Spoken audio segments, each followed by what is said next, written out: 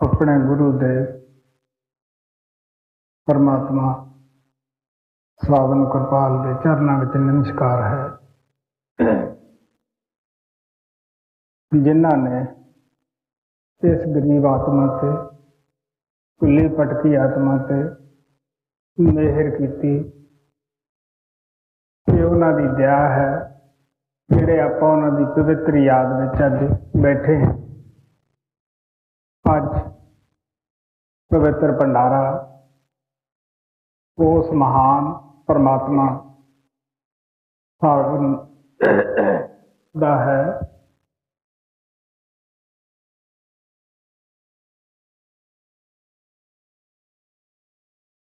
ਪਲਟੂ ਸਾਹਿਬ ਨੇ ਕਿਹਾ ਝਾੜ ਨਹੀਂ ਫਲ ਖਾ ਖਾਤ ਹੈ ਊਪ ਨਾ ਪਿਆਸਾ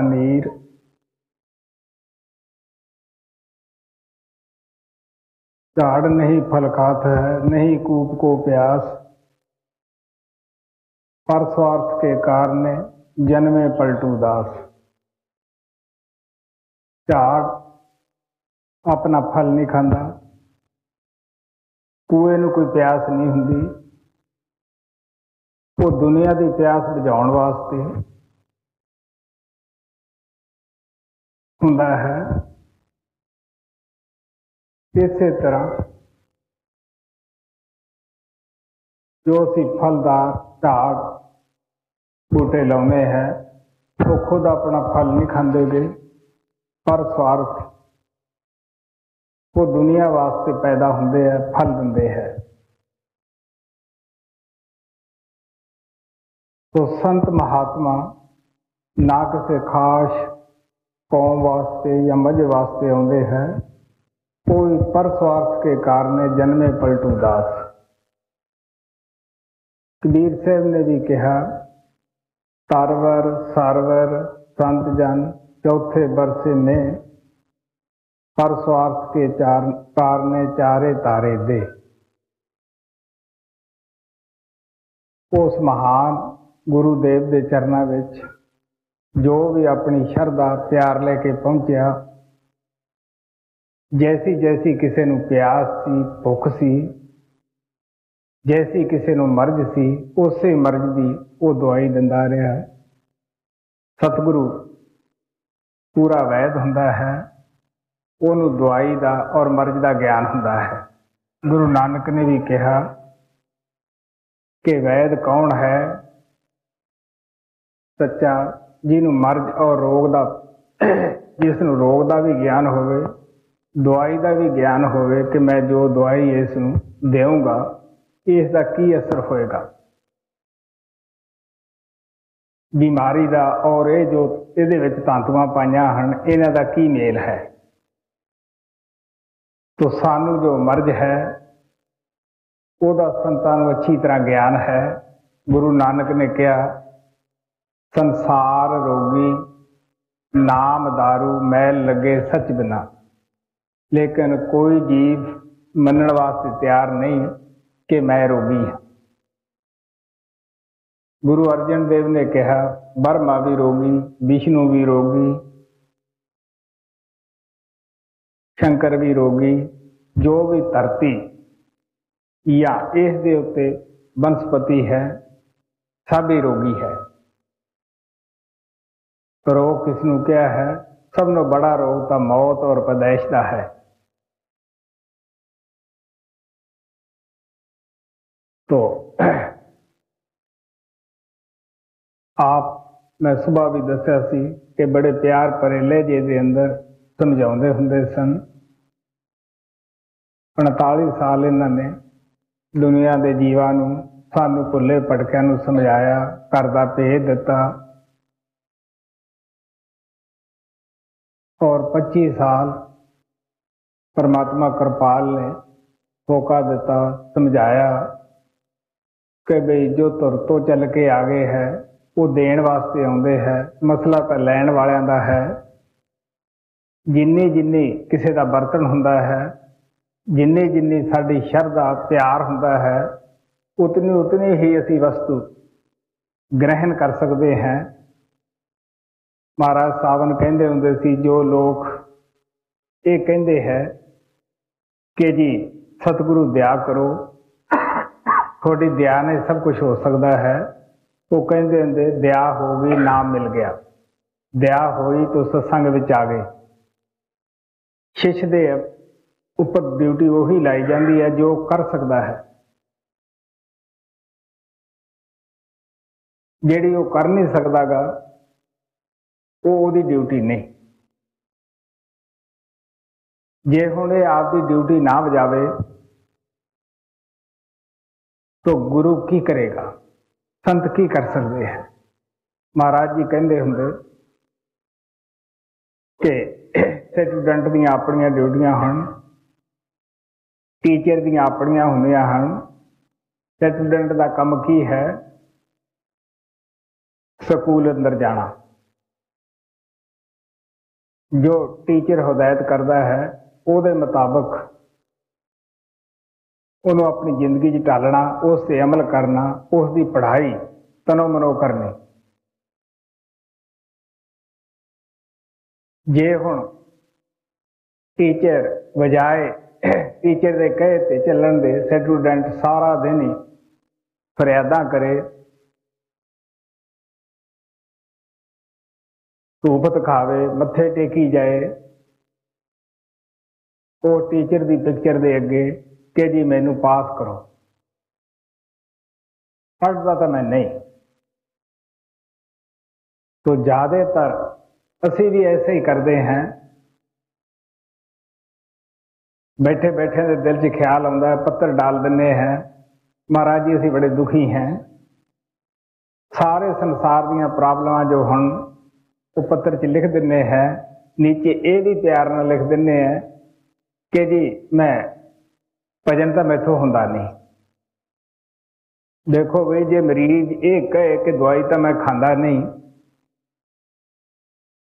ਤਾਂ ਮੈਂ ਰਾਜੀ ਹੋ ਜਾਵਾਂ। ਤਾਂ ਡਾਕਟਰ ਦਾ ਕੀ ਕਸੂਰ ਹੈ? ਮੈਂ ਦੱਸਦਾ ਹੁੰਦਾ ਹੈ ਕਿ ਇੱਕ ਕੈਨੇਡਾ ਤੋਂ ਪੱਛਮੀ ਭਾਈ ਅੰਗਰੇਜ਼ ਆਇਆ। ਉਸਨੇ ਐਸੀਆਂ 77 ਆਰਮੀ ਦੇ ਅੰਦਰ ਪ੍ਰੋਬਲਮਾਂ ਸਭ ਦੱਸੀਆਂ। ਜੋ ਜੋ ਉਹਦੇ ਨਾਲ ਪੇਸ਼ ਆਉਂਦੀਆਂ ਸਨ। ਫਿਰ ਉਸਨੇ ਆਪ ਹੀ ਇਸ ਦਾ ਜਵਾਬ ਦਿੱਤਾ, ਕਹਿਣ ਲੱਗਿਆ, ਤੁਸੀਂ ਇਹ ਕਹੋਗੇ, ਭਜਨ ਸਿਮਰਨ ਕਰ, ਉਹ ਮੈਂ ਕਰਨਾ ਨਹੀਂ। ਕੋਈ ਹੋਰ ਤਰੀਕਾ ਦੱਸੋ?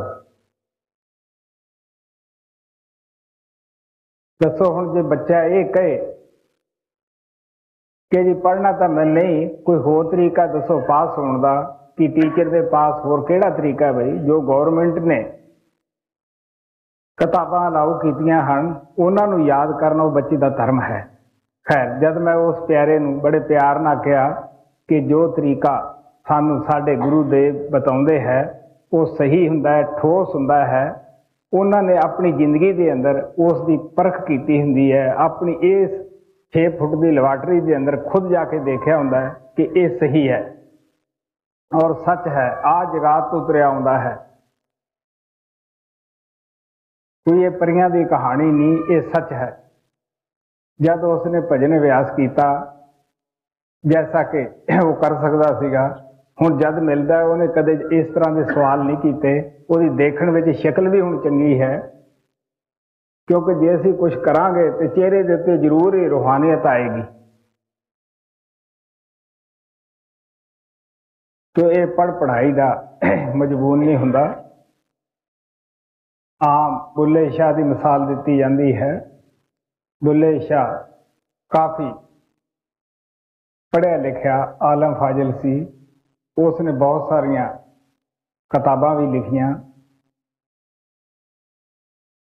ਔਰ ਉਹ ਲਾਹੌਰ ਦੀ ਮਸਜਿਦ ਦਾ ਮੁੱਲਾ ਵੀ ਰਿਹਾ। ਉਹਦਾ ਪਿਤਾ ਵੀ ਇਹੀ ਕੰਮ ਮਸਜਿਦ ਦਾ, ਮੁੱਲਾਂ ਦਾ ਕਰਦਾ ਸੀ ਪਿਤਾ ਪੁਰਖੀ ਉਹਨਾਂ ਦਾ ਕੀਤਾ ਸੀ। ਲੇਕਿਨ ਉਹ ਇੱਕ ਪਵਿੱਤਰ ਆਤਮਾ, ਬੁੱਲੇ ਸ਼ਾਹ, ਉਸ ਕੁਲ ਵਿੱਚ ਪੈਦਾ ਹੋਇਆ। ਉਹ ਰੋਜ਼ੇ ਰੱਖਦਾ ਸੀ ਨਵਾਜ਼ਾਂ ਪੜ੍ਹਦਾ ਸੀ, ਜੋ ਮੁਸਲਮਾਨਾਂ ਦੀ ਸ਼ਰਾ ਹੈ, ਉਹ ਸਾਰਾ ਕੁਝ ਹੀ ਕਰਦਾ ਸੀ। ਕਿਸੇ ਨੇ ਕਿਹਾ ਕਿ ਦੇਖ ਵੀ ਬੁੱਲਿਆ ਰੋਜ਼ ਤੂੰ ਚੰਗਾ ਤਾਂ ਮਾਰਦਾ ਹੈ। ਮਸਜਿਦ ਦੇ ਅੰਦਰ ਉੱਚੀਆਂ ਬਾਂਗਾ ਵੀ ਦਿੰਦਾ ਹੈ। ਪਰ ਉਹ ਖੁਦਾ, ਪ੍ਰਮਾਤਮਾ ਕੋਈ ਬਹਿਰਾ ਤਾਂ ਹੋਇਆ ਨਹੀਂਗਾ। ਉਹ ਤਾਂ ਛੋਟੀ ਤੋਂ ਛੋਟੀ ਪੁਕਾਰ ਨੂੰ ਸੁਣਦਾ ਹੈ। ਅਨੈਤ ਸ਼ਾ ਕਾਦਰੀ ਇੱਥੇ ਲਾਹੌਰ ਵਿੱਚ ਹੀ ਰਹਿੰਦਾ ਹੈ।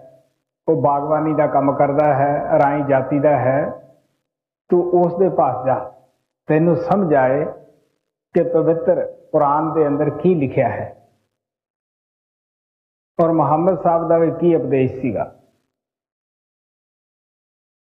ਤੋ ਬੁੱਲੇ ਸ਼ਾ ਉਹਨਾਂ ਦੇ ਜਾਣ ਤੋਂ ਪਹਿਲਾਂ ਕਈ ਕਿਸਮ ਦੇ ਸਾਧਨ ਕਰਦਾ ਹੁੰਦਾ ਸੀ, ਕਿਉਂਕਿ ਜਿਹੜੀਆਂ ਐਸੀਆਂ ਆਤਮਾ ਆਉਂਦੀਆਂ ਹਨ, ਉਹ ਆਪਣਾ ਜਨਮ ਫਜ਼ੂਲ ਦੀਆਂ ਗੱਲਾਂ 'ਚ ਨਹੀਂ ਗਾਉਂਦੇ ਗਾਉਂਦੇਗੇ ਬਚਪਨੇ ਤੋਂ ਹੀ ਉਹਨਾਂ ਦੇ ਅੰਦਰ ਤਲਾਸ਼ ਹੁੰਦੀ ਹੈ।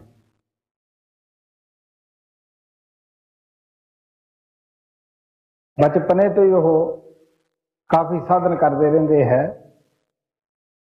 ਜੈਸੇ ਕਿ ਜਿਨ੍ਹਾਂ ਦੀ ਯਾਦ ਵਿੱਚ ਅੱਜ ਆਪਾਂ ਬੈਠੇ ਹਾਂ, ਉਹ ਆਪ ਦਾ ਆਪ ਹੀ ਸਤਸੰਗ ਵਿੱਚ ਦੱਸਦੇ ਹੁੰਦੇ ਸੀ ਕਿ ਮੈਂ 22 ਸਾਲ ਖੋਜਿਆ। ਖੋਜਣ ਦਾ ਮਤਲਬ ਇਹ ਨਹੀਂ ਹੁੰਦਾਗਾ ਕਿ ਉਹ ਐਵੇਂ ਤੁਰੇ ਫਿਰੇ। ਨਹੀਂ, ਬਹੁਤ ਸਾਰੇ ਸਾਧੂ ਫਕੀਰਾਂ ਨੂੰ ਮਿਲੇ ਜੋ ਕਿਹਾ ਉਹ ਕਰਦੇ ਹੈ ਤੋ, ਬੁੱਲੇ ਸ਼ਾਹ ਉੱਥੋਂ ਗਿਆ, ਅੱਗੇ ਅਨੈਤ ਸ਼ਾਹ ਆਪਦੇ ਬਾਗ ਅੰਦਰ ਕਾਰੋਬਾਰ ਕਰਦਾ ਸੀਗਾ। ਤੋ, ਬੁੱਲੇ ਸ਼ਾਹ ਨੂੰ ਰਿਧੀ ਸੀ ਤਾਂ ਸਿੱਧੀ ਤਾਂ ਹਾਸਲ ਸੀਗੀ। ਉਹਨੇ ਸੋਚਿਆ ਕਿ ਇਸ ਫਕੀਰ ਨਾਲ ਕੋਈ ਗੱਲਬਾਤ ਕਰਨ ਦਾ ਸਿਲਸਿਲਾ ਵੀ ਤੋਰੀਏ ਇਹਨੂੰ ਵੀ ਪਤਾ ਲੱਗੇ ਵੀ ਕੋਈ ਆਇਆ ਹੈ। ਉੱਥੇ ਬੂਟੇ ਅੰਬਾਂ ਨਾਲ ਲੱਦੇ ਹੋਏ ਸਨ। ਬੁੱਲੇ ਨੇ ਬਿਸਮਿਲ੍ਲਾ ਕਹਿ ਕੇ ਤਵੱਜੋ ਦਿੱਤੀ। ਅੰਬ ਤੜਾ ਤੜ ਥੱਲੇ ਆਉਣ ਲੱਗ ਪਏ। ਤੋ ਸ਼ਾਹ ਅਨੈਤ ਤਾੜ ਗਏ ਕਿਉਂਕਿ ਕਮਾਈ ਵਾਲੇ ਸਨ। ਕਿ ਇਹ ਜੋ ਅੰਬ ਆਪਣੇ ਆਪ ਹੀ ਨੀਚੇ ਆ ਰਹੇ ਹੈ, ਗਿਰ ਰਹੇ ਹੈ, ਇਹ ਇਸ ਨੌਜਵਾਨ ਦੀ ਹੀ ਸ਼ਰਾਰਤ ਹੈ। ਉਹ ਆ ਕੇ ਕਹਿਣ ਲੱਗੇ, ਕਿਉਂ ਬਈ? ਇਹ ਤਾਂ ਮੇਰੇ ਅੰਬ ਤੋੜੇ ਹੈ। ਉਹ ਕਹਿੰਦਾ, ਦੇਖ ਸਾਈਂ, ਨਾ ਮੈਂ ਕੋਈ ਢੀਮ ਮਾਰੀ, ਨਾ ਮੈਂ ਤੇਰੇ ਅੰਬ ਤੇ ਚੜਿਆ ਮੈਂ ਤੇਰਾ ਅੰਬ ਕਿਵੇਂ ਤੋੜ ਲੇ ਉਹ ਆਦਾ ਇਹ ਤਾਂ ਮੈਂ ਵੀ ਮੰਨਦਾ ਹੈ ਕਿ ਤੂੰ ਢੀਮ ਨਹੀਂ ਮਾਰੀ, ਅੰਬ ਤੇ ਵੀ ਨਹੀਂ ਚੜਿਆ। ਔਰ ਇਹ ਤੋੜੇ ਤਾਂ ਤੈਂ ਹੀ ਹੈ ਨਾਲੇ ਚੋਰ, ਨਾਲੇ ਚਤਰ। ਤੋ ਬੁੱਲਾ ਸਮਝ ਗਿਆ ਕਿ ਸਾਈਂ ਸਭ ਕੁਝ ਜਾਣਦੇ ਹੈ। ਸਿਰ ਨਵਾਇਆ, ਉਹ ਪੁੱਛਣ ਲੱਗੇ ਵੀ ਤੂੰ ਕਿਵੇਂ ਆਇਆ ਹੈ? ਕਾਦੇ ਵਾਸਤੇ ਆਇਆ ਹੈ? ਕੀ ਚਾਹੁੰਦਾ ਹੈ? ਉਹ ਆਦਾ ਸਾਈਂ ਮੈਂ ਰੱਬ ਨੂੰ ਪਾਉਣਾ ਚਾਹੁੰਦਾ ਹੈ। ਉਹ ਆਦੇ ਫਿਰ ਥੱਲੇ ਕਿਉਂ ਗਿਰਦਾ ਹੈ? ਉੱਪਰ ਝਾਕ। ਜਦ ਉੱਪਰ ਝਾਕਿਆ तो ਅਨੈਤ ਸ਼ਾਹ ਨੇ ਪਿਆਰ ਭਰੀ ਦ੍ਰਿਸ਼ਟੀ ਪਾ ਕੇ ਕਿਹਾ, ਦੇਖ ਵੀ ਬੁੱਲਿਆ, ਰੱਬ ਦਾ ਕੀ ਪਾਉਣਾ? ਇਧਰੋਂ ਪੁੱਟਣਾ ਤੇ ਉਧਰ ਲਾਉਣਾ। ਕਿਉਂਕਿ ਉਹ ਗੰਢਿਆਂ ਦੀ ਪਨੀਰੀ ਲਾ ਰਹੇ ਸੀ। ਬੁੱਲੇ ਨੇ ਇਹੀ ਹਦੀਸ ਸਮਝੀ ਕਿ ਦੁਨੀਆ ਦੇ ਵਿਸ਼ੇ ਵਕਾਰ ਦੇ ਵਿੱਚੋਂ ਮਨ ਨੂੰ ਕੱਢਣਾ ਹੈ। ਮਨ ਨੂੰ ਬਾਹਰ ਦੀ ਤਰਫੋਂ ਕਰਮ ਕਰਮਕਾਂਡ ਦੇ ਵਿੱਚੋਂ ਪਲਟਾ ਦੇ ਕੇ ਅੰਦਰ ਸ਼ਬਦ ਦੇ ਨਾਲ ਜੋੜਨਾ ਹੈ।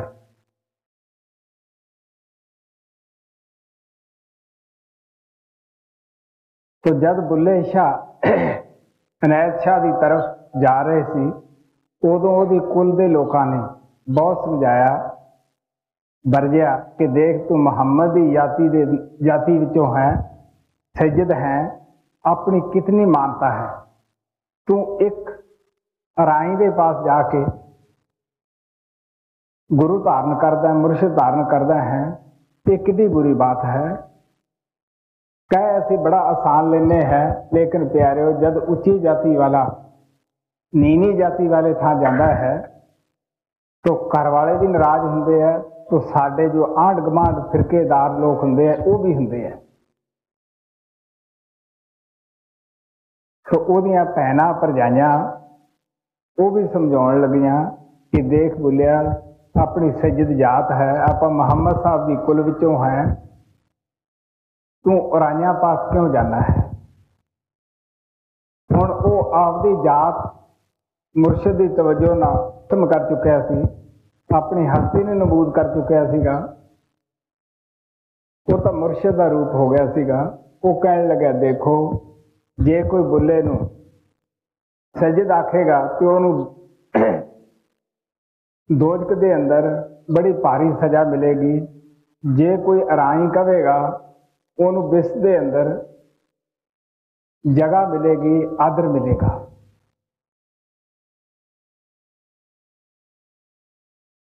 ਉਹ ਕਹਿੰਦਾ, ਹੁਣ ਸਾਡੀ ਜਾਤ ਪਾਤ ਜੋ ਹੈ, ਉਹ ਅਰਾਈ ਹੈ। ਜੇ ਕੋਈ ਬੁੱਲੇ ਨੂੰ ਸੈਯਦ ਆਖੇ ਤੋ ਵਿੱਚ ਦੋਜ ਕੇ ਮਿਲ ਸਜਾਈਆਂ, ਜੇ ਬੁੱਲੇ ਨੂੰ ਕੋਈ ਰਾਈ ਆਖੇ, ਵਿੱਚ ਬੇਇੱਜ਼ਤੀ ਪੀਂਗਾ ਪਾਈਆਂ। ਜੇ ਤੂੰ ਲੋੜੇ ਬੁੱਲਿਆ ਬਾਗ ਬਹਾਰਾਂ ਤੇ ਚਾਕਰ ਹੋ ਜਾ ਰਾਈਆਂ। ਉਹਦਾ ਕੋਈ ਖਟਣਾ ਚਾਹੁੰਦਾ ਹੈ ਤੇ ਇਸ ਰਾਈ ਦਾ ਜਾ ਕੇ ਗੋਲਾ ਲੱਗ ਜਾ, ਚਾਕਰ ਬਣ ਜਾ।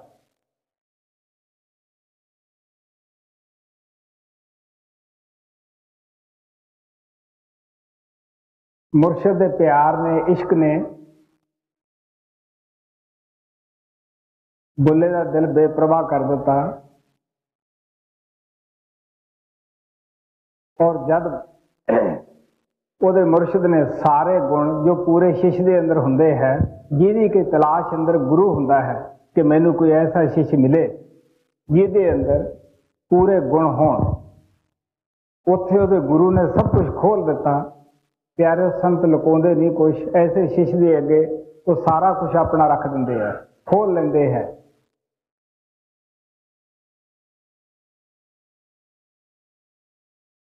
तो बुल्ले शाह का इतना प्यार इतनी तड़फ ਉਹਨੇ ਆਪਣੇ ਮੁਰਸ਼ਿਦ ਨੂੰ ਪਰਮਾਤਮਾ ਵੀ ਕਿਹਾ ਸਾਈਂ ਵੀ ਕਿਹਾ ਰਹੀਮ ਵੀ ਕਿਹਾ ਰੀ ਰਹੀਮ ਉਹਨੂੰ ਕਹਿੰਦੇ ਆ ਜੋ ਰਹਿਮ ਕਰਨ ਵਾਲੀ ਤਾਕਤ ਹੈ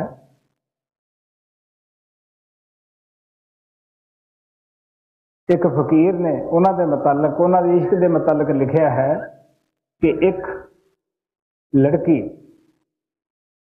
ਆਪਣੇ ਸਹੁਰੇ ਘਰ ਜਾਣ ਵਾਸਤੇ ਹਾਰ ਸ਼ਿੰਗਾਰ ਲਾ ਰਹੀ ਸੀ, ਪੱਟੀਆਂ ਗੁੰਦ ਰਹੀ ਸੀ, ਅੱਛੇ ਕੱਪੜੇ ਪਾ ਰਹੀ ਸੀ।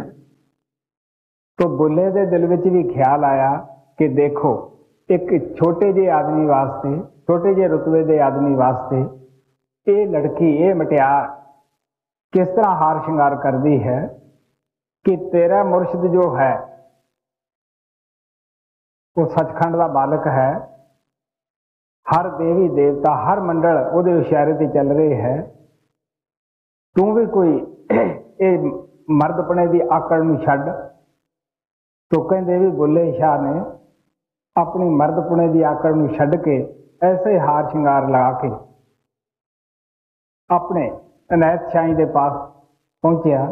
ਤੁਸੀਂ ਦੇਖ ਲਓ, ਇਹ ਕਰ ਲੈਣਾ ਤਾਂ ਬੜਾ ਮੁਸ਼ਕਲ ਹੈ, ਕਹਿਣਾ ਬੜਾ ਆਸਾਨ ਹੈ। ਆਪਣੀ ਮਰਦ ਦੀ ਆਕੜ ਛੱਡ ਕੇ ਇੱਕ ਔਰਤ ਬਣ ਕੇ ਉਸ ਮੁਰਸ਼ਦ ਦੇ ਪਾਸ ਜਾਣਾ, ਇਹ ਕੋਈ ਛੋਟੀ ਜੀ ਗੱਲ ਨਹੀਂ।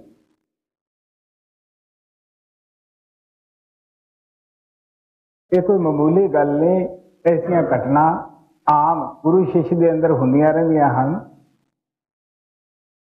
ਤੋਂ ਮੈਂ ਦੱਸਦਾ ਹੁੰਦਾ ਹੈ ਕਿ ਇਸੇ ਤਰ੍ਹਾਂ ਪੁੰਸ਼ ਦੇ ਅੰਦਰ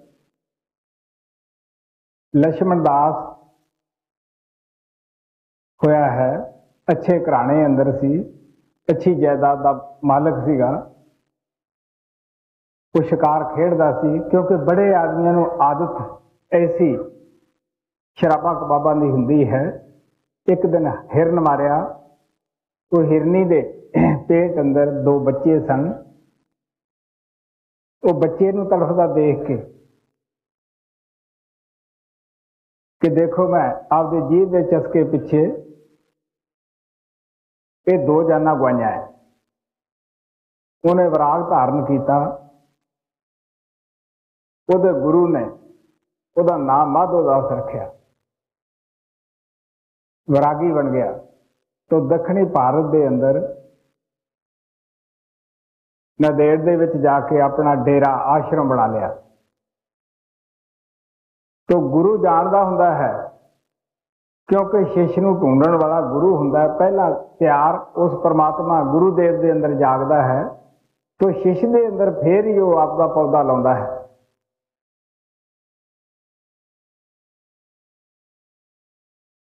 ਤੋ ਗੁਰੂ ਗੋਬਿੰਦ ਸਿੰਘ ਕੋਈ ਉਹਨੇ ਦੇ ਟ੍ਰੇਨਾਂ ਨਹੀਂ ਸਨ, ਹਵਾਈ ਜਹਾਜ਼ ਨਹੀਂ ਸਨ, ਉਹ ਪੈਦਲ ਪੈਂਡਾ ਚੱਲ ਕੇ ਉਥੇ ਨਾਦੇੜ ਦੇ ਅੰਦਰ ਉਹਦੇ ਆਸ਼ਰਮ ਵਿੱਚ ਪਹੁੰਚੇ।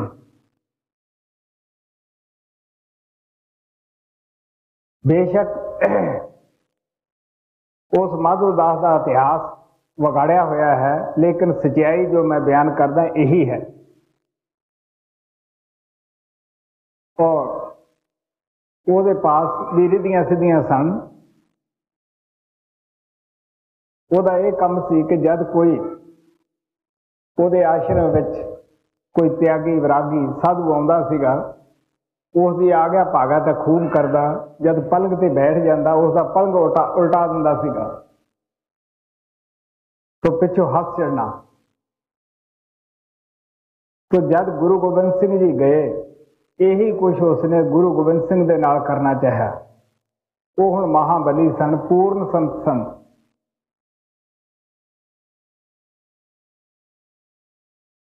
ਉਹ ਬੜੇ ਆਰਾਮ ਨਾਲ ਬੈਠੇ ਰਹੇ ਜਦ ਦੇਖਿਆ ਕਿ ਇਹ ਕੁਝ ਵੀ ਨਹੀਂ ਹੋ ਸਕ, ਹੁੰਦਾਗਾ। ਕੋਈ ਬਲੀ ਹੈ, ਕੋਈ ਪੂਰਨ ਸੰਤ ਹੈ, ਆ ਕੇ ਚਰਨਾਂ ਤੇ ਮੱਥਾ ਟੇਕ ਦਿੱਤਾ। ਤੋ ਗੁਰੂ ਗੋਬਿੰਦ ਸਿੰਘ ਜੀ ਪੁੱਛਣ ਲੱਗੇ, ਕਿਉਂ ਬਈ? ਤੇਰਾ ਕੀ ਨਾਮ ਹੈ? ਕੀ ਤੂੰ ਸਾਧਨ ਕਰਦਾ ਹੈ? ਉਹਨੇ ਸਾਧਨ ਵਗੈਰਾ ਵੀ ਦੱਸੇ, ਆਪਦੀ ਹਿਸਟਰੀ ਦੱਸੀ ਔਰ ਨਾਮ ਵੀ ਦੱਸਿਆ। ਕਹਿੰਦਾ, ਜੀ ਹੁਣ ਤਾਂ ਮੈਂ ਤੁਹਾਡਾ ਹੀ ਬੰਦਾ ਹਾਂ, ਬਿਨਾਂ ਦਾਮ ਤੋਂ। ਤੋ ਗੁਰੂ ਗੋਬਿੰਦ ਸਿੰਘ ਨੇ ਆਪਣੀ ਤਵੱਜੋ ਦਿੱਤੀ, ਜਿਹੜਾ ਹੁਣ ਇਤਨੀ ਦੂਰ ਪੈਂਡਾ ਮਾਰ ਕੇ ਗਿਆ ਹੈ, ਉਸ ਗੁਰੂ ਨੂੰ ਪਤਾ ਸੀਗਾ, ਪੂਰਨ ਤਵੱਜੋ ਦੇ ਕੇ ਉਸ ਨੂੰ ਰੋਹਾਨੀਅਤ ਦੇ ਅੰਦਰ ਮਾਲੋ ਮਾਲ ਕਰ ਦਿੱਤਾ, ਪੰਜਾਬ ਅੰਦਰ ਭੇਜਿਆ ਕਿ ਵੀ ਤੂੰ ਜਾ। ਇਸੇ ਤਰ੍ਹਾਂ ਜੋ ਇਹ ਗਰੀਬ ਆਤਮਾ ਤੁਹਾਡੇ ਅੱਗੇ ਦੱਸ ਰਹੀ ਹੈ, ਮੈਨੂੰ ਵੀ ਸ਼ੌਕ ਸੀ ਬਚਪਨੇ ਤੋਂ ਕਿ ਮੇਰੀ ਕੋਈ ਵਸਤੂ ਖੋਈ ਹੋਈ ਹੈ। ਮੈਂ ਉਸੇ ਦੀ ਤਲਾਸ਼ ਦੇ ਅੰਦਰ ਬਹੁਤ ਸਾਰੇ ਕਰਮ ਕਾਂਡ ਕੀਤੇ, ਜਿਹੜੇ ਕਿ ਉਸ ਜਵਾਨੇ ਵਿੱਚ ਖਾਸ ਉੱਤਰ ਦੇ ਵਿੱਚ ਪੰਜਾਬ ਵਿੱਚ ਜਾਂ ਹਿਮਾਚਲ ਪ੍ਰਦੇਸ਼ ਦੇ ਅੰਦਰ ਚਾਲੂ ਸਨ। ਧੂਣੇ ਤਪਾਉਣੇ, ਜਲ ਤਾਰਾ ਕਰਨਾ, ਹੋਰ ਵੀ ਕਈ ਕਿਸਮ ਦੇ ਇਸ਼ਟਾਂਗ ਯੋਗ ਵਗੈਰਾ। ਕਾਫੀ ਪ੍ਰਚਲਿਤ ਸੀ। ਨਿਰਮਲੇ ਵੀ ਕਰਦੇ ਸਨ, ਉਦਾਸੀ ਲੋਕ ਵੀ ਕਰਦੇ ਸਨ। ਅੱਜ ਤਾਂ ਸਿਰਫ ਕੱਪੜੇ ਹੀ ਰੰਗੇ ਫਿਰਦੇ ਹੈ। ਉਹਨਾਂ ਦਿਨਾਂ 'ਚ ਕਿਸੇ ਕੋਲ ਇੱਕ ਸ਼ਬਦ ਦਾ ਪੇਸ਼ ਸੀ, ਕਿਸੇ ਕੋਲ ਦੋ ਸ਼ਬਦ ਦਾ ਪੇਸ਼ तो ਮੈਨੂੰ ਵੀ ਐਸੀ ਆਦਤ ਬਣੀ ਕਿਉਂਕਿ ਬਾਬਾ ਵਿਸ਼ਨ ਦਾਸ ਦੇ ਚਰਨਾਂ 'ਚ ਪਹੁੰਚਿਆ ਤੇ ਉਹਨਾਂ ਨੇ ਦੋ ਸ਼ਬਦ ਦਾ ਭੇਜ ਦਿੱਤਾ। ਮੈਂ ਕਹਿੰਦਾ ਹੁੰਦਾ ਕਿ ਦੂਸਰੀ ਮੰਜ਼ਲ ਤੇ ਪਹੁੰਚਿਆ ਹੋਇਆ। ਰਿੱਧੀ ਸਿੱਧੀ ਤੋਂ ਪੂਰਾ ਪੂਰਾ ਕੰਮ ਲੈਂਦਾ ਹੈ। तो ਮਹਾਰਾਜ ਸਾਵਣ ਜਾਂ ਗੁਰੂ ਅਰਜਨ ਦੇਵ ਨੇ ਰਿੱਧੀ ਸਿੱਧੀ ਨੂੰ ਇੱਕ ਵੇਸਵਾ ਬਾਜ਼ਾਰ ਦੀ ਕਿਹਾ। ਹੁਣ ਸਿਆਣਾ ਆਦਮੀ ਵੇਸਵਾ ਦੀ ਕਮਾਈ ਖਾਵੇ, ਉਹਨੂੰ ਕੌਣ ਅੱਛਾ ਕਹੇਗਾ ਬਈ? तो ਮਹਾਰਾਜ ਸਾਵਣ ਕਹਿੰਦੇ ਹੁੰਦੇ ਸੀ, ਦੇਖੋ ਬਈ ਅਗਰ ਤੁਸੀਂ ਕਮਾਈ ਕਰਦੇ ਹੋ, ਤੁਹਾਡੇ ਉੱਤੇ ਬਖਸ਼ਿਸ਼ ਹੈ ਗੁਰੂ ਦੀ ਤੇ ਆਪਦੇ ਅੰਦਰੋਂ ਧੂਏ ਤੱਕ ਨਾ ਨਿਕਲਣ ਦਿਓ। ਉਹ ਬੜੇ ਨਾਰਾਜ਼ ਹੁੰਦੇ ਸੀ, ਜੇ ਕਿਸੇ ਨੇ ਇਹ ਦੱਸਣਾ ਕਿ ਮੈਂ ਇਹ ਕੁਝ ਕੀਤਾ। तो ਮੈਨੂੰ ਆਦਤ ਸੀਗੀ ਕਿ ਜਿਤਨੇ ਵੀ ਮੇਰੀ ਸੰਗਤ ਅੰਦਰ ਆਉਂਦੇ ਸਨ ਜਾਂ ਕੋਈ ਵੈਸੇ ਹੀ ਆ ਗਏ ਤੋਂ ਮੈਂ ਨਜ਼ਰ ਮਿਲਾ ਕੇ ਉਸ ਨੂੰ ਜ਼ਮੀਨ ਤੇ ਪੁੱਠਾ ਘੇਰ ਦਿੰਦਾ ਸੀ। ਕਿ ਜਦ ਸਵੇਰ ਮਹਾਰਾਜ ਕਿਰਪਾਲ ਦਾ ਸੰਦੇਸ਼ ਆਇਆ ਕਿ ਵੀ ਘਰ ਵਿੱਚ ਰਵੇ, ਮੈਂ ਅੱਜ ਆਉਣਾ ਹੈ। ਖੈਰ, ਮੈਂ ਆਪਣੇ ਯਾਰ ਦੋਸਤਾਂ ਨੂੰ ਬੁਲਾਇਆ। ਹੋਰ ਜਿਹੜੇ ਵੀ ਪ੍ਰੇਮੀ ਮੇਰੇ ਪਾਸ ਸਤਸੰਗ ਸੁਣਨ ਵਾਸਤੇ ਆਉਂਦੇ ਸੀਗੇ, ਮੈਂ ਉਹਨਾਂ ਨੂੰ ਵੀ ਬੁਲਾਇਆ। ਦੱਸਿਆ ਕਿ ਮਹਾਰਾਜ ਜੀ ਆਉਣ ਵਾਲੇ ਹੈ। ਹਾਲਾਂਕਿ ਬਚਪਨੇ ਤੋਂ ਉਹਨਾਂ ਦੀ ਯਾਦ ਵਿੱਚ ਸੀਗੇ, ਲੇਕਿਨ ਫਿਰ ਵੀ ਜੋ ਮਨ ਹੈ, ਇਹ ਆਪਣਾ ਕੰਮ ਕਰਦਾ ਹੈ। ਦਿਲ 'ਚ ਖਿਆਲ ਆਇਆ ਕਿ ਦਾਦੂ ਸਾਹਿਬ ਨੇ ਕਿਹਾ ਸੀ, ਪਾਣੀ ਛਾਣ ਕੇ ਪੀਣਾ ਚਾਹੀਦਾ ਹੈ, ਗੁਰੂ ਸੋਚ ਸਮਝ ਕੇ ਕਰਨਾ ਚਾਹੀਦਾ ਹੈ। ਪਰ ਪਿਆਰੇ, ਉਹਨਾਂ ਆਤਮਾ ਤੇ ਲਾਗੂ ਹੁੰਦਾ ਹੈ, ਉਹੀ ਪਰਖ ਸਕਦੇ ਹੈ, ਜਿਹੜੇ ਕੋਈ ਜ਼ਿੰਦਗੀ 'ਚ ਕਰਦੇ ਹੈ।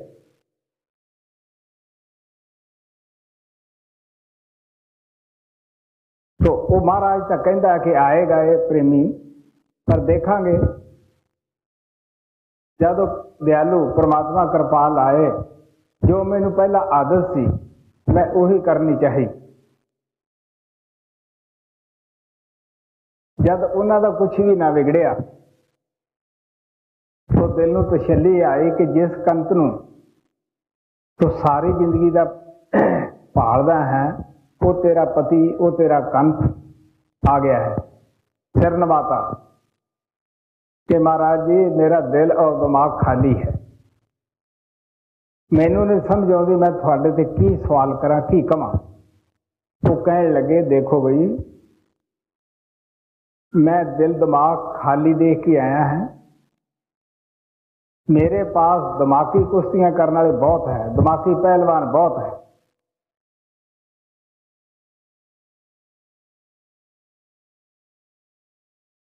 ਜੋ ਉਹਨਾਂ ਨੇ ਇਸ ਗਰੀਬ ਆਤਮਾ ਤੇ ਦਇਆ ਕੀਤੀ, ਉਹ ਬਿਆਨ ਤੋਂ ਬਾਹਰ ਹੈ।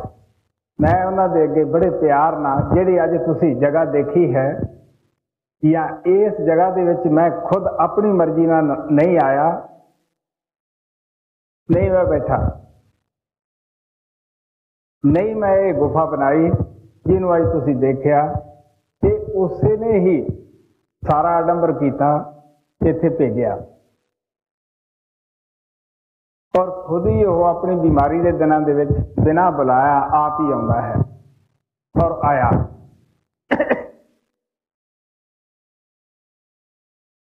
ਜਿਹਦੀ ਯਾਦ ਵਿੱਚ ਤੁਸੀਂ ਬੈਠੇ ਹੋ, ਇੱਕ ਮਾਮੂਲੀ ਆਦਮੀ ਆਦਮੀ ਦੀ ਕਦਰ ਕਰਦਾ ਹੈ, ਜਿਹੜਾ ਗੁਰੂ ਭਗਵਾਨ ਰੂਪ ਹੈ, ਉਹ ਕਿਉਂ ਬਈ, ਉਹ ਕਿਵੇਂ ਬੇਇਨਸਾਫ ਹੋ ਸਕਦਾ ਹੈ?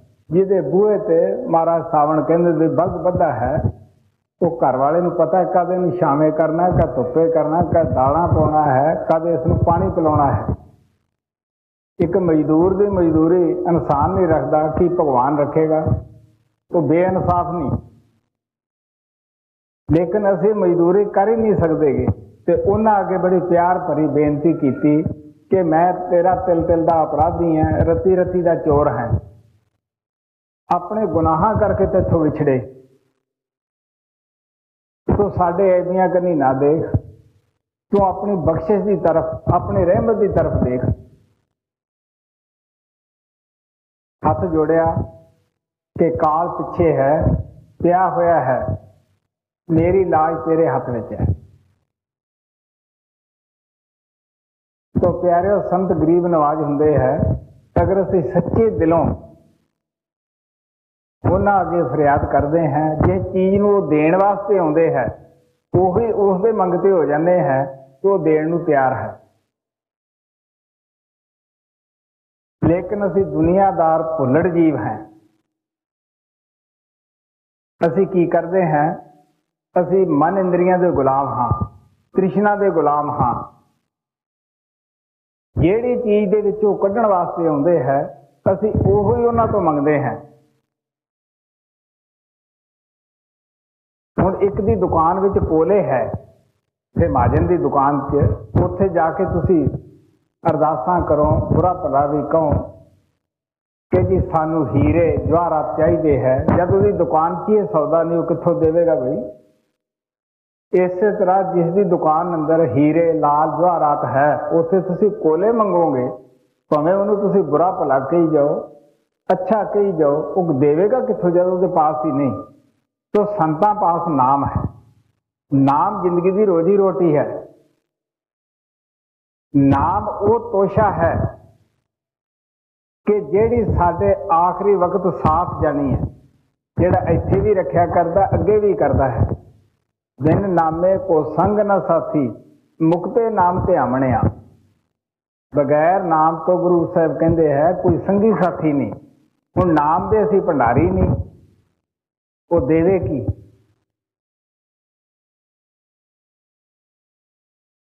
ਤੋ ਜਿਹੜਾ ਸੱਚਾ ਸ਼ਿਸ਼ ਹੈ, ਉਹ ਦੁਨੀਆ ਦੀਆਂ ਤ੍ਰਿਸ਼ਨਾ ਨਹੀਂ ਮੰਗਦਾਗਾ, ਦੁਨੀਆ ਦੀ ਵਸਤੂ ਨਹੀਂ ਮੰਗਦਾਗਾ, ਉਹ ਗੁਰੂ ਨੂੰ ਮੰਗਦਾ ਹੈ। ਤੋ ਮੈਂ ਸਵੇਰ ਵੀ ਅਭਿਆਸ ਤੇ ਬਿਠਾਉਣ ਲੱਗਿਆ, ਕਿਹਾ ਸੀ ਕਿ ਸਾਧ ਰਹਿਣੀ ਤੋਂ ਪਰਖਿਆ ਜਾਂਦਾ ਹੈ। ਜੋ ਰਾਤ ਨੂੰ ਪਰਖਿਆ ਜਾਂਦਾ ਹੈ, ਉਹਨੂੰ ਜਿਹੜੀ ਆਦਤ ਹੈ, ਉਹ ਕਰੇ ਬਿਨਾ ਨਹੀਂ शारदागार सात परखी है रहस्य, चोर परखी है रात। पलटू सोना कहे ने? झूठ पर किए बात। सोना जो है, उस नार की कुठाली के अंदर परख्या जाता है। जो कसवटी है उस ला के परख्या जाता है। ਤੋ ਪਲਟੂ ਸਾਹਿਬ ਕਹਿੰਦੇ ਸ਼ਿਸ਼ ਸ਼ਿਸ਼ ਸਭੀ ਕਹਾ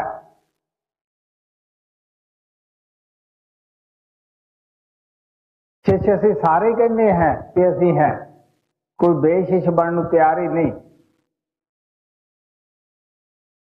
ਪਰ ਵਿਰਲਾ ਸ਼ਿਸ਼ ਕੋਏ ਵਿਰਲੇ ਵਿਰਲੇ ਕੋਟਨ में ਕਹੂ ਜੋ ਗੁਰੂ ਦੀ ਬਾਤ ਦੀ ਖੋਜ ਕਰਦਾ ਹੈ ਜੋ ਗੁਰੂ ਦੀ ਸਮਝਾਏ ਮੁਤਾਬਕ ਖੋਜ ਕਰਦਾ ਹੈ, ਨਾਮ ਦੀ ਕਰਦਾ ਹੈ, ਉਹੀ ਸ਼ਿਸ਼ ਹੈ।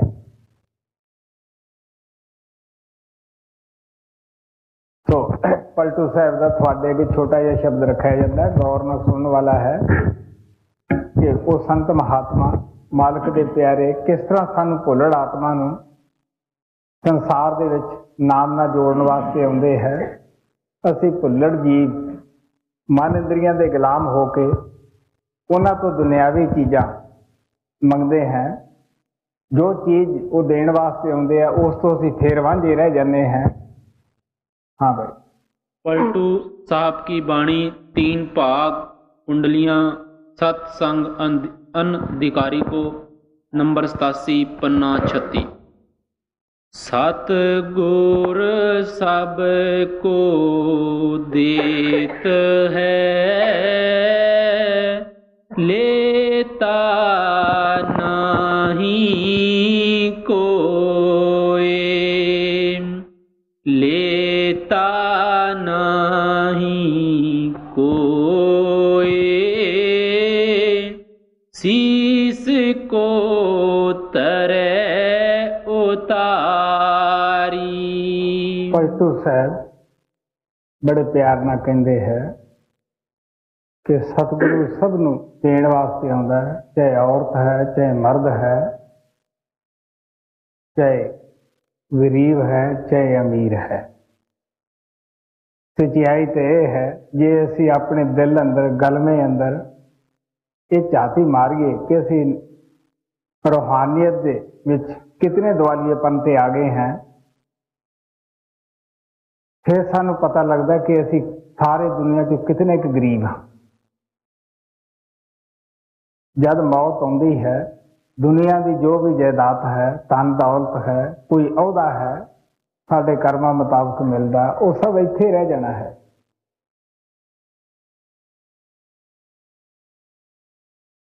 तो कीमती हीरा जो है वो नाम है नाम अमोलक रत्न है रतन हीरे फिर भी पत्थर है ਔਰ ਇਹ ਵੀ ਜਦ ਇੱਕ ਦਿਨ ਸਮਾਪਤ ਹੋ ਜਾਂਦੇ ਹੈ, ਜਦ ਧਰਤੀ ਅਸਮਾਨ ਸਮਾਪਤ ਹੋ ਜਾਂਦਾ ਹੈ, ਇੱਕ ਪਰਮਾਤਮਾ ਰਹਿ ਜਾਂਦਾ ਹੈ, ਤੋ ਇਹਨਾਂ ਦੀ ਕੀ ਕੀਮਤ ਆ ਬਈ? ਉਹਨੂੰ ਨਾਮ ਕਹਿ ਲੋ ਨਾਮ ਉਹ ਸ਼ਕਤੀ ਹੈ, ਜਿਹੜੇ ਕਿ ਸਭ ਜੀਵ ਜੰਤੂ ਨੂੰ ਸਦਾ ਦੇ ਰਹੀ ਹੈ, ਜਿਸ ਦੇ ਆਸਰੇ ਸਾਡੇ ਖੰਡ ਬ੍ਰਹਮੰਡ ਖੜੇ ਹਨ। ਨਾਮ ਲਫ਼ਜ਼ ਨਹੀਂ ਤੋ ਉਹ ਸਭ ਨੂੰ ਦੇਣ ਵਾਸਤੇ ਆਉਂਦਾ, ਲੇਤਾ ਨਾ ਹੀ ਕੋਈ। ਕੋਈ ਲੈਣ ਵਾਸਤੇ ਤਿਆਰ ਨਹੀਂ। ਕਬੀਰ ਸਾਹਿਬ ਨੇ ਕਿਹਾ ਸੀ, ਨਾਮ ਰਤਨ ਕਨ ਤਨ ਕੋਠੜੀ, ਖਾਨ ਖੁੱਲੀ ਕਟਮਾਹੇ ਸੇਤ ਮੇਤ ਹੀ ਦੇਤ ਹੂੰ, ਗਾਹਕ ਕੋਈ ਨਾ ਹੈ ਉਹ ਕਹਿੰਦਾ, ਕੋਈ ਗਾਹਕ ਨਹੀਂਗਾ ਮੁਫਤ ਦਿੰਨਾ ਹੈ ਸੰਤ ਆ ਕੇ ਆਪਣੇ ਨਾਮ ਦੀ, ਆਪਣੀ ਤਾਲੀਮ ਦੀ ਕੋਈ ਫੀਸ ਨਹੀਂ ਲਾਉਂਦੇ, ਉਹ ਮੁਫਤ ਦਿੰਦੇ ਆ। फिर मुश्किल की है भाई।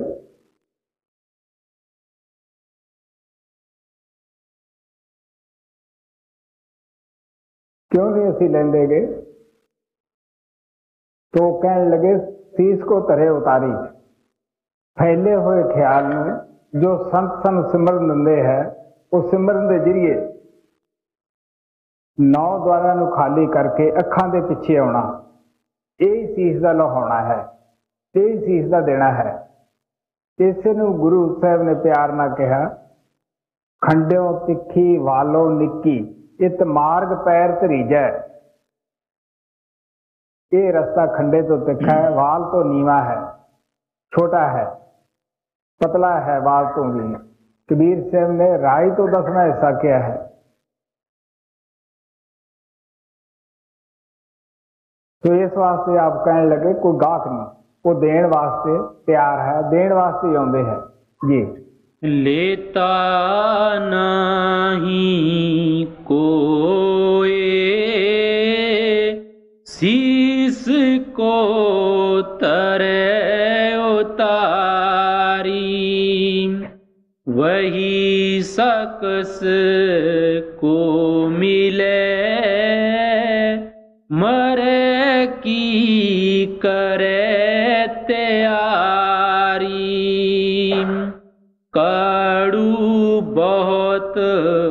ਸਤਨਾਮ। ਦੇਖਤ ਕੈ ਡਰੈ, ਦੇਖਤ ਕੈ ਡੇਰੈ ਸਰੀਰਾ। ਹੁਣ ਆਪ ਕਹਿਣ ਲਗੇ ਕਿ ਸ਼ਖਸ ਨੂੰ ਮਿਲਣਾ ਹੈ? ਕੌਣ ਸਾਨੂੰ ਨਾਮ ਨਾਲ ਜੋੜ ਸਕਦਾ ਹੈ? ਕੌਣ ਜੀਂਦੇ ਜੀ ਮਰਨ ਦੀ ਜੁਗਤੀ ਦੱਸ ਸਕਦਾ ਹੈ? ਜਿਹੜਾ ਖੁਦ ਜੀਂਦੇ ਜੀ ਮਰ ਚੁੱਕਿਆ ਹੋਵੇ, ਮਰ ਕੇ ਜੀਵ ਜੀਵ ਜਿਉਂਦਾ ਹੋ ਗਿਆ ਹੋਵੇ। ਗੁਰੂ ਨਾਨਕ ਨੇ ਵੀ ਪਿਆਰ ਨਾਲ ਕਿਹਾ ਮੋਇਆ ਜਿਤ ਕਰ ਜਾਈਏ ਤਤ ਜੀਵਦੇ ਆ ਮਰ ਮਾਰ। ਫ਼ਰਕ ਇਤਨਾ ਹੀ ਹੁੰਦਾ ਹੈ ਕਿ ਜਦ ਅਸੀਂ ਸੱਚੀ ਮੌਤ ਮਰਦੇ ਹਾਂ, ਜਿਹਨੂੰ ਅਸੀਂ ਮੌਤ ਜਾਂ ਇੰਤਕਾਲ ਹੋਣਾ ਕਹਿੰਦੇ ਹਾਂ ਦੁਬਾਰੇ ਸਰੀਰ ਵਿੱਚ ਨਹੀਂ ਆਉਂਦੇ। ਬੋਲ ਨਹੀਂ ਸਕਦੇ, ਕੋਈ ਕਿਰਿਆ ਨਹੀਂ ਕਰ ਸਕਦੇਗੇ। ਅੱਖ ਨਹੀਂ ਹਿਲਾ ਸਕਦੇਗੇ, ਹੱਥ ਨਹੀਂ ਹਿਲਾ ਸਕਦੇਗੇ।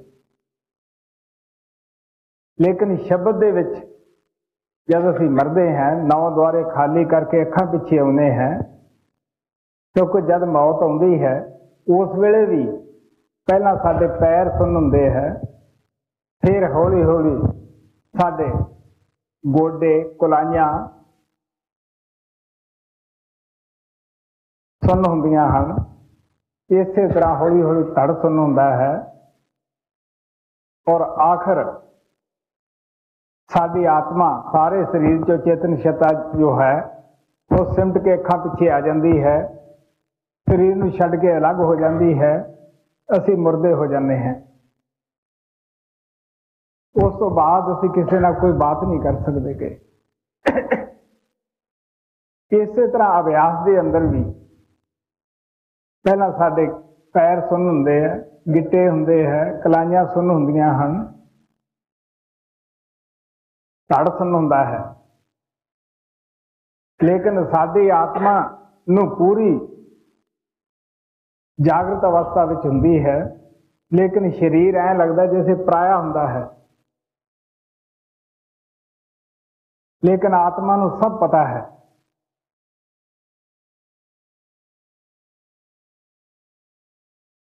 ਔਰ ਜਦ ਸਾਡੇ ਖਿਆਲ ਜਿਹੜਾ ਹੈ ਤੀਸਰੇ ਤਿਲ ਤੇ ਬਿਲਕੁਲ ਅਕਾਗਰ ਹੋ ਜਾਂਦਾ ਹੈ, ਤਾਂ ਚੇਤਨ ਸਤਾ ਜਿਹੜੀ ਹੈ ਉਹ ਸਾਰੀ ਨਿਕਲ ਕੇ ਇਸ ਜਗ੍ਹਾ ਆ ਜਾਂਦੀ ਹੈ।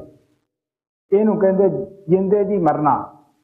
ਤੋਂ ਜੋ ਅਗਲਾ ਸਫ਼ਰ ਹੈ, ਉਹ ਸ਼ਬਦ ਨੂੰ ਪਕੜ ਕੇ ਕੀਤਾ ਜਾਂਦਾ ਹੈ। ਲੇਕਿਨ ਜੋ ਜਿੰਦੇ ਦੀ ਸ਼ਿਸ਼ ਮਰਨਾ ਸਿੱਖ ਜਾਂਦਾ ਹੈ, ਉਹਦਾ ਜੋ ਸਿਮਰਨ ਦਾ ਕੋਰਸ ਹੈ, ਉਹਦੀ ਜੋ ਡਿਊਟੀ ਹੈ, ਉਹ ਪੂਰੀ ਹੋ ਜਾਂਦੀ ਹੈ। ਅੱਗੇ ਗੁਰੂ ਦੀ ਹੈ ਜਿਸ ਨੂੰ ਸਵਾਮੀ ਜੀ ਨੇ ਕਿਹਾ ਸੀ ਥੈਂਚੇ ਸੁਰਤ ਗੁਰੂ ਬਲਵਾਨ।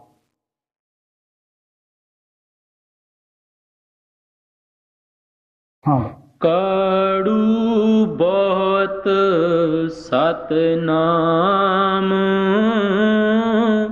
ਦੇਖਤ ਕੈ ਡਰੈ ਸਰੀਰਾ। ਰੋਟੀ ਖਾਵਨ ਹਾਰ। ਖਾਏਗਾ ਕਿਉਂ ਕਰ ਹੀਰਾ?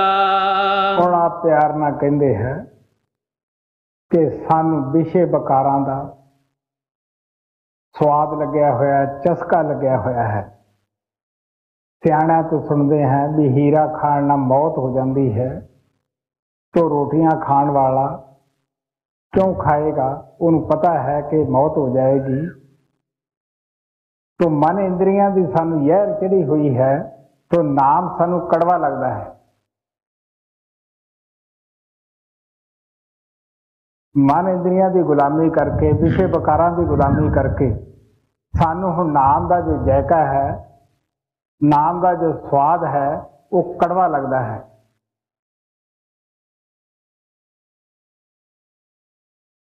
ਖਾਣਾ ਅੱਛਾ ਬਣਾ ਲਓ। ਅਗਰ ਕੋਈ ਮਰੀਜ਼ ਹੈ, ਬਿਮਾਰ ਹੈ ਉਸ ਦੇ ਨਜ਼ਦੀਕ ਰੱਖੋ।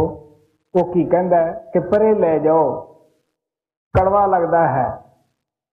ਮੈਂ ਖਾ ਨਹੀਂ ਸਕਦਾ। ਉਹ ਪਿਆਰਿਓ, ਖਾਣਾ ਤਾਂ ਕੌੜਾ ਨਹੀਂ ਹੁੰਦਾਗਾ। ਸਿਰਫ ਉਹਦੇ ਮੂੰਹ ਦਾ ਜਿਹੜਾ ਜੈਕਾ ਹੈ, ਸਵਾਦ ਹੈ, ਟੇਸਟ ਹੈ, ਉਹ ਖਰਾਬ ਹੋ ਜਾਂਦਾ ਹੈ। ਇਹੀ ਹਾਲਤ ਸਾਡੀ ਹੋਈ ਪਈ ਹੈ। ਅਸੀਂ ਵਿਸ਼ੇ ਬਕਾਰਾਂ ਦੇ ਨਾਲ ਇਤਨੇ ਹੀ ਬਿਮਾਰ ਹੋ ਚੁੱਕੇ हैं ਹੁਣ ਨਾਮ ਮਿੱਠਾ ਹੈ, ਉਹ ਕੜਵਾ ਲੱਗਦਾ ਹੈ। ਅਸੀਂ ਡਰਦੇ ਮਾਰੇ, ਅਭਿਆਸ ਨਹੀਂ ਕਰਦੇ ਕਿ ਮਤਾ ਸੁਰਤ ਅੰਦਰ ਚਲੀ ਜਾਵੇ।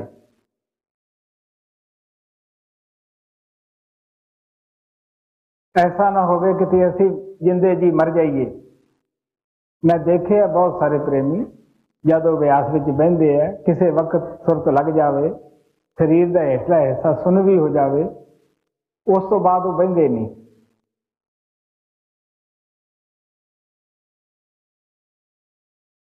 ਕਹਿੰਦੇ ਜੀ, ਇੱਕ ਦਿਨ ਹੀ ਅਸੀਂ ਬੈਠ ਕੇ ਦੇਖਿਆ ਸੀਗਾ, ਬਸ।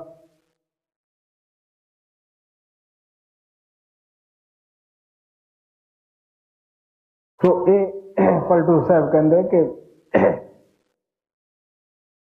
ਨਾਮ ਤਾਂ ਮਿੱਠਾ ਹੈ, ਲੇਕਿਨ ਸਾਡਾ ਜੋ ਜੈਕਾ ਮੂੰਹ ਦਾ ਉਹ ਖਰਾਬ ਹੋਇਆ ਹੈ।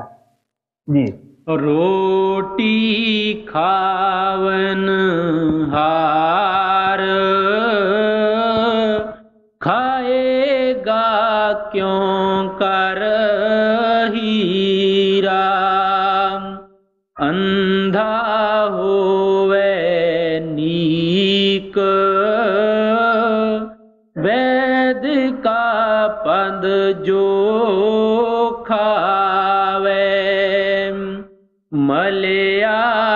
ਗਿਰ ਕੀ ਬਾਸ? ਬਾਂਸ में ਨਹੀਂ ਸਮਾਵੇ।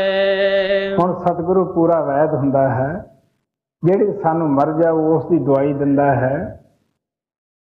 ਉਹ ਸਹੀ ਹੁੰਦਾ ਹੈ। ਉਹਦਾ ਤਜਰਬਾ ਹੁੰਦਾ ਹੈ। ਲੇਕਿਨ ਅਸੀਂ ਲੋਕ ਉਸ ਵਾਸ ਦੀ ਤਰ੍ਹਾਂ ਹੈ। ਜਿਹੜਾ ਕਿ ਚੰਦਨ ਦੇ ਪਾਸ ਖੜਾ ਵੀ ਖੁਸ਼ਬੂ ਆਪਦੇ ਅੰਦਰ ਵੜਨ ਨਹੀਂ ਦਿੰਦਾਗਾ। ਇਸੇ ਤਰ੍ਹਾਂ ਅਸੀਂ ਸਤਿਗੁਰੂ ਦਾ ਪਵਿੱਤਰ ਭਾਂਡਾ ਹੁੰਦਾ ਹੈ, ਉਹ ਨਾਮ ਰੂਪ ਹੁੰਦਾ ਹੈ, ਉਸ ਦੇ ਅੰਦਰੋਂ ਮਹਿਕ ਵੀ ਆਉਂਦੀ ਹੈ। ਲੇਕਿਨ ਮਹਾਰਾਜ ਸਾਵਣ ਕਹਿੰਦੇ ਹੁੰਦੇ ਸੀ, ਵਾਸ਼ਨਾ ਲੈਣ ਵਾਲਾ ਵੀ ਕੋਈ ਕੋਈ ਨੱਕ ਹੁੰਦਾ ਹੈ। ਲੇਕਿਨ ਸਾਡੇ ਵਿਸ਼ੇ ਬਕਾਰਾਂ ਦੇ ਨਾਲ ਇਤਨੇ ਅਸੀਂ ਭੋਗੀ ਕੀੜੇ ਬਣ ਗਏ ਹੈ ਆਪ ਦੇ ਅੰਦਰ ਉਹਦੀ ਜਿਹੜੀ ਮਹਿਕ ਹੈ ਉਸ ਨੂੰ ਦਾਖਲ ਹੀ ਨਹੀਂ ਹੋਣ ਦਿੰਦੇਗੇ। ਜੈਸੇ ਕਿ ਵਾਸ ਪਾਸ ਖੜੇ ਚੰਦਨ ਦੀ ਖੁਸ਼ਬੂ ਅੰਦਰ ਨਹੀਂ ਆਉਣ ਦਿੰਦਾਗਾ ਇਹੀ ਹਾਲਤ ਸਾਡੀ ਹੈ। ਜੀ। ਮਲਿਆ ਗਿਰ ਕੀ ਬਾਸ ਬਾਂਸ में ਨਹੀਂ ਸਮਾਵੇ। ਪਲਟੂ ਪਾਰਸ ਕਿਆ ਕਰੇ? ਜੋ ਲੋਹਾ ਖੋਟਾ ਹੋਏ ਸਤ ਗੁਰ ਸਭ ਕੋ ਦੇਤ ਹੈ। ਲੇਤਾ ਨਹੀਂ ਕੋਏ। ਹੁਣ ਪਲਟੂ ਸਾਹਿਬ ਪਿਆਰ ਨਾਲ ਕਹਿੰਦੇ ਹੈ, ਸਤਿਗੁਰੂ ਸੱਚਾ ਪਾਰਸ ਹੈ। ਉਹ ਜਿਸ ਨਾਲ ਛੂੰਦਾ ਹੈ, ਲੱਗਦਾ ਹੈ ਉਸ ਨੂੰ ਵੀ ਉਹ ਸੋਨਾ ਬਣਾ ਦਿੰਦਾ ਹੈ। ਲੇਕਿਨ ਅਸੀਂ ਉਸ ਲੋਹੇ ਮਨੂਰ ਦੀ ਤਰ੍ਹਾਂ ਕੋਟੇ ਹੋਏ ਬੈਠੇ ਹਾਂ। ਮਨ ਇੰਦਰੀਆਂ ਦੀ ਜੰਗਾਲ ਸਾਡੇ ਤੇ ਚੜੀ ਹੋਈ ਹੈ।